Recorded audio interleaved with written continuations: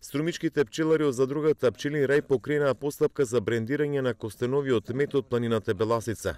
Според нив медот од костеновиот свет е далеку поквалитетен, зашто зборува и високата цена на пазарот. Смета дека треба да се искористат потенцијалите на планината Беласица, зашто веќе ги пренесуваат пчелните семејства на локации каде има огромни површини со костенови дрвја. Костеновиот мед не е толку популяризиран и не е доволно искористен.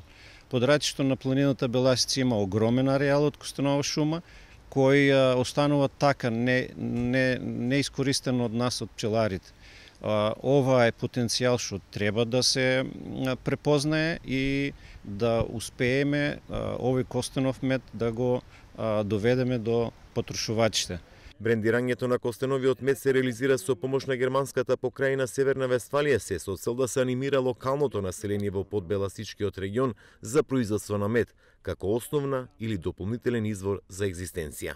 До сега овој мед се продаваше локално од самите пчелари во населените места кај што живеат и многу тешко беше достапен до поширокиот круг на потрошувачи.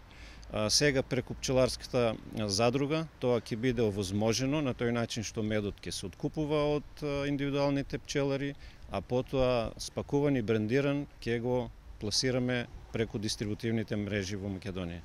Костенов мед, освен во Беласица, може да се произведува и во Шар планина и во Кичевско.